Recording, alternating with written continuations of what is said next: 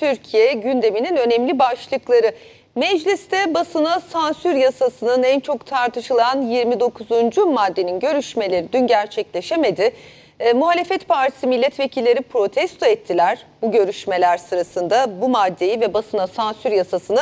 Hatta CHP milletvekili Burak Erbay çekiçle kürsüde telefonunu kırdı, cep telefonunu. Gece 3'e kadar meclisteydi. E, Halk TV parlamento muhabiri arkadaşımız Şeyma Paşayiğit. Şeyma mecliste yine sabah erken saatlerde mes mesaisine başladı ve şimdi karşımızda. Şeyma henüz görüşmeye başlanmadı. Ee, basına sansür yasası ama neler oluyor mecliste bize anlatır mısın? Dün geceden bu yana bir toparlar mısın lütfen? Özlem Akarsu Çelik gündem sansür yasası henüz görüşülmeye başlanmamıştı. Yani biz yayına hazırlandığımız sırada 29. madde görüşmelere henüz başlanmamıştı. Şimdi bu maddeye, bu teklife iktidar dezenformasyonla mücadele diyor. E, muhalefette basına sansür yasası diyor. 40 maddelik bir teklif adım adım yasalaşarak 29. maddeye kadar geldi. Aslında burada bir hatırlatma yapmak isterim çünkü bu teklif neredeyse bir yıldır gündemde. Çünkü geçtiğimiz yasama e, yasama yılında yani 27. E, dönem 5. yasama yılının başından beri gelmesi bekleniyordu. Ve 26 Mayıs'ta Adalet ve Kalkınma Partisi ile Milliyetçi Hareket Partisi'nin e, ortaklığında sunulmuştu meclis başkanlığında. Sunulduğu andan itibaren konuşulan madde 29. madde. Hızlıca üzerinden geçmek isterim çünkü her bir kelimesi önemli sırf halk arasında endişe, korku veya panik yaratma sahikiyle ülkenin iç ve dış güvenliği, kamu düzeni ve genel sağlığı ile ilgili gerçeğe aykırı bilgiyi kamu barışını bozmaya elverişli şekilde yayan kimse bir yıldan 3 yıla hapis cezası ile cezalandırılır diyor bu 29. madde.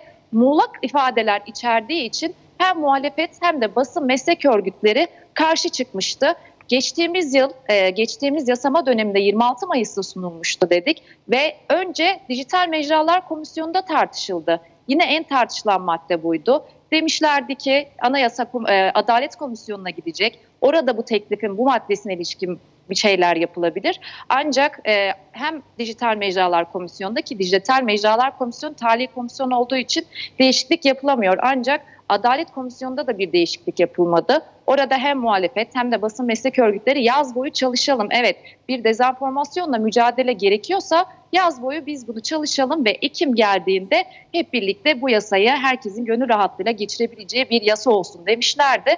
Ancak yazın böyle bir çalışma yapılmadı ve 1 Ekim e, meclis açılır açılmaz bu yasa genel kurula sunuldu ve geçtiğimiz salı gününden itibaren görüşmeleri başlandı. Geçtiğimiz salı genel üzerinde görüşmeler olmuştu. İlk iki maddesi görüşülmüştü. Perşembe günü 12 maddesi daha kabul edilmişti ve bu haftada 29.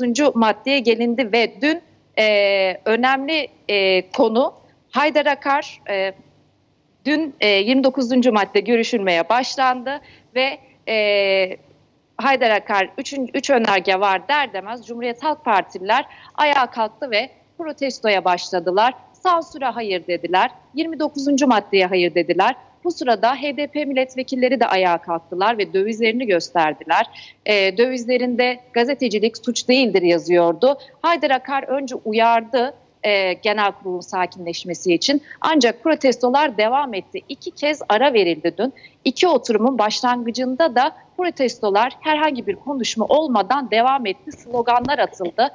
Adalet ve Kalkınma Partisi de tepki gösterdi. Görüşmelerin devamını istediler. Ancak görüşmeler devam etmedi. Haydar Akar birleşimi kapatıyorum dedi ve birleşim kapandı. Peki Adalet ve Kalkınma Partisi neden bu kadar görüşmelerin yapılması için ısrar etti. Çünkü bir önceki gün e, muhalefet yeter sayı istedi, toplanma yeter sayısı istedi ve yeter sayı genel kurul bulamadı. 200 milletvekilini bulamadığı için de genel kurul kapandı ve maddelerin görüşülmesine geçilemedi. Bu 29. madde üzerinde hem Adalet Kalkınma Partisi ve Milliyetçi, Parti, e, Milliyetçi Hareket Partisi arasında hem de Cumhuriyet Halk Partisi arasında yoğun bir trafik gidip geliyordu. Ancak bir uzlaşma sağlanamadı. Bugün de Engin Altay ve Tuncay Özkan bir basın toplantısı düzenlediler.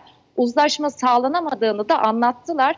E, ee, 29. maddeyi tutuksuz yargılama, gazetecilerin yargılanmaması ve sosyal medyada retweet eden vatandaşların muaf olmasını istedik ancak kabul etmediler dedi iki milletvekili. Şeyma Ee, izninle burada sonra- Şeyma izninle burada araya gireceğim. Ee, Tuncay Özkan e, gazeteci kökenli e, bir siyasetçi, milletvekili. Aynı zamanda bu yasa e, ilk geldiği gün teklif yani yaz aylarında o zaman da görüşmelerde o vardı.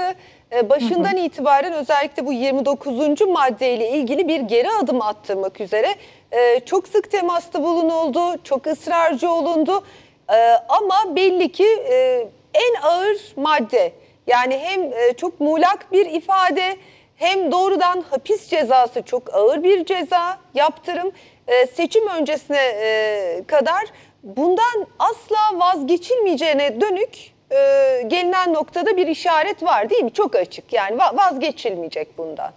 Evet aslında muhalefetin ilk yapmaya çalıştığı şey bu teklifin yani 26 Mayıs'tan sonraki o süreci e, anlatmaya çalışıyorum. Komisyon sürecini bu maddenin tamamen geri çekilmesini istiyordu muhalefette. Ancak geri adımlar gelmeyince muhalefetin son isteği 2 yılın altına yani 3 yıllık ceza yatarı olmayacak şekilde 2 yılın altına çekilebilir mi? Bunun mücadelesini verdiler. Ama özellikle Milliyetçi Hareket Partisi bu konuda ısrarını sürdürdü ve geri, geri adım atılmayacağı yönünde e, ifadelerde bulundular diyelim. E, bundan sonra ne olacak o kısmına geçelim. Bu madde bu şekilde yasalaşırsa Cumhuriyet Halk Partisi e, önce resmi gazetede yayınlanacak elbette. Cumhuriyet Halk Partisi resmi gazetede yayınlandıktan sonra yani yasalaştıktan sonra soluğu Anayasa Mahkemesi'nde alacak ve Anayasa Mahkemesi'ne başvuracak. Bir de değişen maddeler var bunlar içinde. Ee, mesela iptal koşulları, basın kartının iptal koşullarına e, iptal edildiği andan itibaren 5 yıl boyunca gazetecilere basın kartı verilemeyecekti. Bu biraz Adalet ve Kalkınma Partisi'nin verdiği önergeyle bu biraz hafifletildi. 5 yıl yerine bir yıl ifadesi geldi. Ee, karşı çıkılan diğer maddeler de var iptal e, basın kartının iptaline ilişkin. Örneğin milli savunmaya karşı suçlar, devletin sırlarına karşı suçlar gibi yeni suçlar basın kartının alınmasına e, alınmamasına ilişkin ibareler eklendi ve başta söz etmiştin Burak Erbay dün e, bu gergin görüşme başlamadan önce telefonunu kırdı. Sosyal medyada kullanılmayacağına ilişkin sözler söyleyerek telefonunu kırdı ve Mustafa Şentop bugün ona ilişkin açıklama yaptı. Kınama cezası gerektirirdi dedi. Çünkü dün Haydar Akar yönetiyordu, başkan vekili yönetiyordu meclisi. E, kınama cezası gerektirirdi. Eylem e, bu kınama cezası gerektirirdi ve başkan vekilinin buna ilişkin karar vermesi gerekirdi dedi. E, ve kürsüler şov için tasarlanmış yerler değil dedi Şentop. Şimdilik durum böyle dediğim gibi ben e, yayına hazırlandığım sırada e, Meclis Genel Kurulu'nda 29. maddeye geçilmemişti. Şu sıralar belki geçilmiş olabilir. Bugün de e, yine Haydar Akar 3 önerge var diyerek başlatacak ve 29. maddenin görüşmeleri devam edecek. Bu arada muhalefetin ne yapacağını da sorduk. Çünkü dün e, muhalefet e, slogan atmıştı, dövizlerle gelmişti. E, dünkü kadar olmasa da bugün de önergelerle e, yine bir mücadele bekliyoruz muhalefetten onların ifade ettiğine göre diyelim. Şeyma Paşa dolu doluydu anlattıkların. Çok teşekkür ediyoruz. E, muhabirlik çok kıymetli. Değerli izleyenler gördüğünüz gibi arkadaşımız gece 3'e kadar meclisteydi. Sabah yine erken saatte mesaiye başladı. Oradan hem mesleğimizin e, savunusu adına hem de size an be an gelişmeleri aktarmak için çalışmayı sürdürüyor. E, iyi çalışmalar diliyorum Şeyma. İyi yayınlar, teşekkür ederim. Evet gazeteciler yazmazsa kimse öğrenemez. Bunu başından beri söylüyoruz Ee, ve basına sansür yasası dediğimiz yasa bildiğiniz gibi sosyal medya düzenlemesi olarak geldi. Türkiye'de bir sosyal medya düzenlemesine ihtiyaç olduğu başından beri iktidar tarafından dile getiriliyordu. Biz de gazeteciler olarak yıllardır bir internet gazeteciliğinin basın kanunu içinde tanımlanması e, ve gerekli yasal düzenlemenin yapılması için gerekli temasları dile getirmiştik. Her zaman yapmıştık ilgililerle. Ancak nedense ne zaman biz ihtiyaçlarımızı dile getirsek e, bu ihtiyaçlar bir sansür düzenlemesiyle karşı karşıya kalıyor. İşte bu basına sansür yasası gerçekten sadece gazetecileri değil tüm halkı ilgilendiriyor. Neden? e, halkı yanıltıcı bilgi vermek diye ifade edilen yeni bir suç tanımıyla oluşturulan bu 29. madde sadece bizi değil herhangi bir bilgiyi sosyal medya hesabından paylaşanları da ilgilendirecek. Yani onlar da e, bu suç kapsamında 3 yıl hapis cezası ile karşı karşıya kalabilecek. İşte bu basına sansür yasasını protesto eden isimler arasında İstanbul Büyükşehir Belediyesi Meclisi'nin İyi Partili üyesi Taylan Yıldız da vardı. Kendisini e, sizler internetçi abi olarak e, tanıyorsunuz. E, böyle bir namı oldu. E, Taylan Yıldız yayınımızda. Hoş geldiniz Sayın Yıldız. Hoş bulduk. İyi yayınlar diliyorum. Ee, siz belediye meclisi toplantısında e, bir aslında çok küçük bir orada protesto gerçekleştiriyorsunuz. Önünüzde bir döviz var ona tahammül edilemiyor ve bir anda o dövize saldırılıyor. Neler yaşadınız anlatır mısınız? Tabii şöyle Öncelikle oldu. geçmiş olsun diyelim size de. Çünkü e, bir de önünüzdeki bilgisayara vuruluyor. Onu da görüyoruz görüntülerden. Evet bilgisayarı da kırdılar sağ olsunlar de bilgisayarımıza demokrasi gazisi oldu.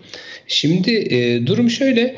E, biz o gün aslında iki şeyi konuşmaya çıkmıştık. Bir, e, Kredi Yurtlar Kurumu'ndaki gençlerin çektiği sıkıntıları anlatacaktım. İstanbul Büyükşehir Belediyesi'nin e, yaptığımız yurtlardaki gençlerin nasıl çok daha iyi bir geleceğe sahip olduğunu ve Millet İttifakı olarak ileride yapacaklarımızın habercisi olduğunu ve de İstanbul Büyükşehir Belediyesi'ne birkaç tane çağrı yapacaktım ve ikinci kısımda da sosyal medya yasasını anlatacaktım. Ama sosyal medya yasasında çok önemli bir şey var. Bizim konuştuğumuz sansür yasasına hayır diye bir hashtagimiz vardı. Ve bu hashtagin de Türkiye'de ana yakım yerde de, yerlerde de e, bir e, ses bulabilmesi amacıyla ben onun ortasına koymak istedim ki benim bütün konuşmam boyunca böyle bir farkındalık olsun. Hatta arkamda görebilirsiniz o yazıyı da. Fakat ben daha o yazıyı koyar koymaz önce meclis başkanına ve değerli meclis üyelerine teşekkürlerimi ederken Maalesef bir anda e, dediler ki biz size bu konuşmayı yaptırmayacağız. AK Partili e, Sayın Grup e, Sözcüsü Faruk e, Beyefendi kendisi ayağa kalktı. Dedi ki şov yapma dedi bana. Ondan sonra şov yapma hakkınız yok dedi. Ki orada bizim kürsü dokunulmazlığımız var biliyorsunuz. Şov yapma ne demek? Bu inanılmaz büyük bir demokrasi ayıbıydı. Bunu tabii ki biz e, kesinlikle kabul etmedik. Sonra o ayağa kalkınca yanındaki arkadaşları da bundan bir vazife çıkarıp kendileri de kalktılar ve bir anda bir baktık ki bizim e, kürsümüzün etrafında bana saldırmaya başlamışlar. Bir yandan e, oradaki mikrofonla e, bana vurmaya çalışıyorlar. Bana vurmaya çalışırken laptopa vurdular. Böyle bir durum oldu. Ama işin garibi de şu Sayın Özlem Yıldız, Hanım. Sayın Yıldız e, şu an ekranlarımızda görüyoruz. E, ilgili kanunun e, aslında hep en çok konuşulan e, aslında bütünüyle problemli bir kanun ama 29. maddesi tam da şimdi Meclis Genel Kurulu'nda e, görüşülüyor. E, ve yine gergin bir ortam var. E, gördüğünüz gibi milletvekilleri e, kürsüden tepkilerini dile getiriyorlar. E, 40 maddelik bir kanun bu e, ve meclis iç tüzüğü gereği zaten e, çok sınırlı. Yani bu kanunu engelleme e, şansı milletvekillerinin çok yok. Yapabilecekleri şey işte neyse meclis iç tüzüğü koşulları el verdiğince biraz geciktiriyorlar. E, ağırdan almak, tartışmaları gündeme taşımak için. ve şu anda da İyi Parti milletvekili Ayhan Erel kürsüde bir konuşma yapıyor. Döneceğiz ama biz Taylan Yıldız'la kaldığımız yerden devam edelim lütfen. E, çünkü bu konuşmalar daha devam edecek. E, Taylan Bey hattımızda değil mi hala arkadaşlar? Tabii. Evet. E, Sayın Yıldız e, kaldığımız yerden devam edelim lütfen. Ara ara da meclise döneceğiz. Bu kanun tüm Türkiye için önemli seçim yaklaşırken. E, siz de bunun önemini belediye meclisinde dile getirmek istediniz ve saldırıya uğradınız. Anlatır mısınız? Tekrar evet işin e, bence burada çok e, bu kanuna niye itiraz ettiğimizin çok güzel bir göstergesi vardı. O da şuydu. Ben o dövizi oraya koyduğum zaman e, AK Partili mevkidaşlar en azından bir kısmı diyelim dedi ki biz size şov yaptırmayacağız. Biz size şov yaptırmayacağız. E, siz burada şov yapamazsınız dediler. Burada iki tane sıkıntı vardı. Bir Mecliste şov yapmak yasak değil. Eğer öyle bir şey yapıyorsak ki bu o değil. Bu biz demokratik hakkımızı kullanarak vatandaşı bilinçlendirmeye çalışıyoruz. Bu bir. İkincisi biz size şov yaptırmayacağız ne demek? Yani demokratik ortamlarda şovun tanımını kim yapar? O şovu yaptırmayacağız diyerek de meclisin bütün e, yönetmeliklerini siz çiğneyemezsiniz. Aynı şeyi şu an mecliste yaptıklarını sosyal medya sansür yasasında yapmaya çalışıyorlar. Diyorlar ki hakikati biz belirleyeceğiz ve bizim belirlediğimiz hakikatin dışında siz ne söylerseniz biz söylemenize izin vermeyeceğiz diyorlar. Bunu da görmüş olduk ve burada da Özlem Hanım şöyle bir abeslik vardı. Ben daha bir kelime söylemedim hangi kanunla ilgili ne derdim olduğunu ve bu arada çok iddialı söylüyorum aylardır bunu e, gerçekten yazıp çizen konuşan e, muhalefet e, paydaşlarından biriyim ben. Bildiğim bir konu. Bilişim avukatlarıyla günlerce konuştuğumuz, tartıştığımız bir konu. STK liderleriyle tartıştığımız bir konu. Sosyal medya şirketleriyle konuştuğumuz bir konu. Hiç bilmedikleri konularda daha önce internetçi abi muhabbetinde de çıkmıştı. O zaman valinin engellemesi yok demişti İstanbul'daki e, internet bağlantısına. Halbuki vardı. Bu konuda da aynen öyle bir e, sıkıntıya düştüler. Ama gençler bunu görüyor. Yani bugün laptopumuz kırılır, yarın kafamız kırılır. Hiç önemli değil. Gençlerin ümidini kıramayacaklar. Ben buradan da arkadaşlara bunu söylemek istiyorum. Ee, peki e, siz bu konunun internet boyutuyla zaten kendi uzmanlık alanınız itibariyle zaten ilgileniyorsunuz. Gençlere bu yasayla ilgili nasıl bir mesaj vereceksiniz? Dün Burak Erbay CHP milletvekili kürsüye çıktı. Cep telefonunu koydu. Çekici çıkardı bir zarfın içinden. Gençler artık buna da ihtiyacınız olmayacak. Dünyayı buradan takip ediyordunuz, buradan yorumlarınızı yapıyordunuz. Basınla sansür yasası çıkarsa artık dünyayla da bu cep telefonu aracılığıyla ilişki kuramayacaksınız e, diye böyle sembolik bir eylem gerçekleştirdi. E, Mustafa Şentop gerçi bu eylemi e, meclis şov yapma yeri değildir diyerek eleştirmiş. Ancak biz mecliste ben de eski bir parlamento muhabiri olarak yani çok daha ileri şovlara da tanık olduk. Mecliste o kürsüde sadece konuşulmuyor. İşte daha önce orada bir sürü tartışma yaşandı. Hele bu kadar önemli toplumun geleceğini ilgilendiren, bu kritik seçime yaklaşan süreçte e, adeta ısrarla böyle gece sabaha kadar çalıştırarak meclis çok acelesi varmış gibi bu yasayı çıkarma telaşında olunca iktidar protestolar da çeşitleniyor. Bazen e, protestoların dozu da artıyor. Gençlere ne diyeceksiniz basına sansür yasası ile ilgili? Öncelikle şunu söylemek istiyorum genç arkadaşlarımıza. Dünyada bunun pratiği bu değil arkadaşlar. Böyle yasalar iki yıl boyunca toplumsal uzlaşıyla çıkarılan yasalardır. Bizde belki hatırlayacaksınız 2020 yılında e, Covid döneminde çıkarılan bir torba yasanın içerisine sosyal medya düzenlemesini koymaya çalıştılar. Ya bu kadar realiteyle uzak, bu kadar toplumsal uzlaşıyı, toplumsal ortak fikri e, öncelemeyen bir iktidarla karşılaşıyoruz. Bu normal değil. Dünyada bu olmuyor arkadaşlar. Onun için iktidarın bakın Fransa'da da bu yasa var, Almanya'da bu var demesine bakmayın. Öncelikle onu söyleyelim. İkincisi 2014'te belki o zaman bazı genç arkadaşlarım çok gençti ama hatırlayacaklardır. Twitter'ı kapattılar. Twitter'ı kapattıkları gün şu oldu o zaman. Normalde 1,5 milyon tweet atılır bir günde. Bizde 3 saatte 2,7 milyon tweet atıldı. 3 saatte. Dünya rekoru kırıldı. Hatta şöyle bir espri dönüyordu ki doğruydu. Türkler Twitter'ın kapanıldığını Twitter'dan öğrendi diye. Şimdi internet bir okyanus gibidir Özlem Hanım. Yani bunu siz havuz medyasına dönüştüremezsiniz. Yani bugün siz insanların bu e, hakikatle olan bağlarını koparmak için böyle bir iş yapıyor olabilirsiniz. Ama şunu göreceksiniz. İnsanlar bundan sonra mesela enflasyon %180 demeyecek enflasyon diyecek yanına bir emoji koyacak mesela. Bir gülen surat koyacak onu bunu koy. Onu da mı cezalandıracaksınız? Yapamazsınız. Yapamazsınız. Bunu bunu aslında biliyorlar gönüllerinin derinde bir yerde ama karşı çıkacak düşünsel silahları yok. Tek bildikleri şey yasaklamak. Çünkü belki de yani eskiden de onlara birçok şey yasaklandı. Onun için bütün refleksleri yasaklamak üzerine ama biliyorsunuz yani bunlar 21. yüzyılda internet gibi bir tsunami'nin önünde durabilecek bir araçları yok kendisinin. Geliyor gelmekte olan. Geliyor gelmekte olan. Peki son sorum dünyadan siz dünyayı da takip ediyorsunuz. Dünyadan Türkiye'deki bu gelişmeler nasıl görülüyor? Yani özellikle işte sosyal medya e, sağlı, e, internet sağlayıcılarıyla yapılan tartışmalar vesaire bunlar dünya gündemine oturmuştu ama bu basına sansür yasası nasıl takip ediliyor? Biz e, sosyal medya şirketleriyle diğer platformlarla da konuşuyoruz. Onların bu konulardaki sorunlarını da zaten gayet yakından dinliyoruz ve ben Google'da 10 sene mesai harcamış bir e, Türk vatandaşı olarak şunu çok iyi biliyorum. Bir kere özgürlüğün olmadığı yerlerde, internetin bağımsız olmadığı yerlerde siz dijital ekonomiyi canlandıramazsınız. Taylan Bey size, size öyle refer edecektim ama Google adı aklıma gelmedi özür diliyorum. bir yandan da çünkü mecliste neler oluyor bir yandan ona bakıyorum. Çok da gerilimli bir atmosfer var. Çok teşekkür ediyorum. Buyurun lütfen. Bu arada tabii yani Ay, mecliste Google kavgayla Google e, Google çok alakasız yerlerdeler tabii ki. Yani düşünsel Yo, ortamda da çok alakasız değil, yerlerdeler. Değil, hiç değil artık. Buyurun dinliyoruz sizi. Maalesef. Hatta bu arada Vedat Milor abimiz bir tweet atmıştı. Demişti ki e, ben Stanford'da doktora yapmadım çünkü mecliste kavga etmek istemiyorum demişti. Yani orada da böyle çok güzel bir nükteden bir tweet'i vardı.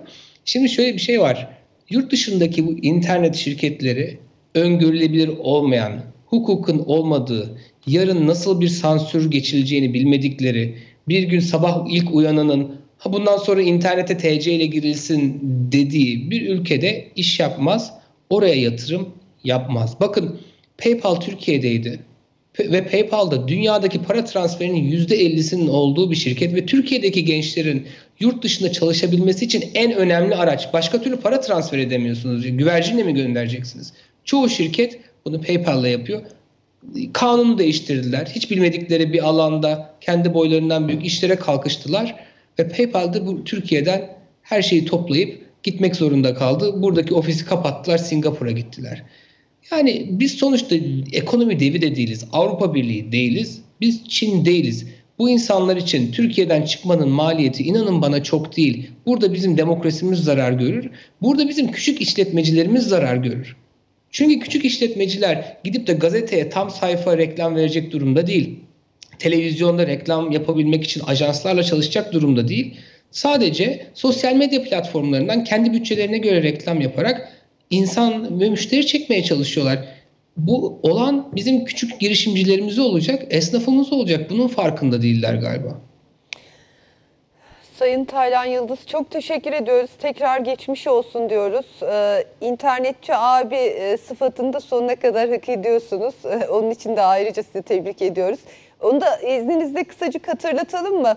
Ee, siz metrolarda İstanbul'da gençler için internet talep etmiştiniz.